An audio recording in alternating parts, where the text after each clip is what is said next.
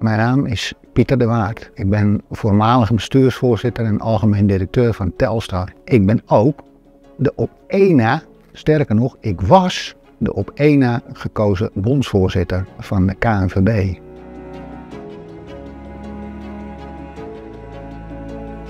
Mijn verhaal draait om mijn club, Telstar. Ik gebruik daarvoor doorgaans een drietal open deuren. Een van de open deuren is, gras groeit niet door eraan te trekken. De tweede is, onder druk ontstaan diamanten. En de derde is, alleen ga je sneller, maar samen kom je verder.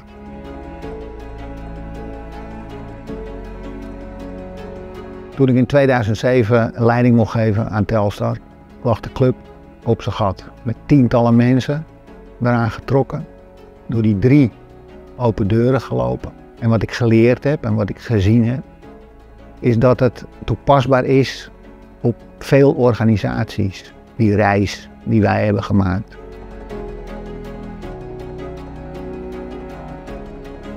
Ik hoop dat de zaal leert na mijn presentatie dat ze er vertrouwen in moeten hebben dat het hun ook lukt. Wat ik ook belangrijk vind, is dat je leert om dicht bij jezelf eh, te blijven. Ga geen gekke eh, dingen doen. Doe dingen die bij je horen.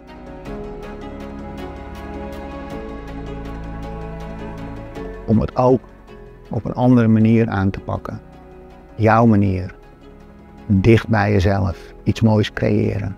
Dat willen we toch allemaal.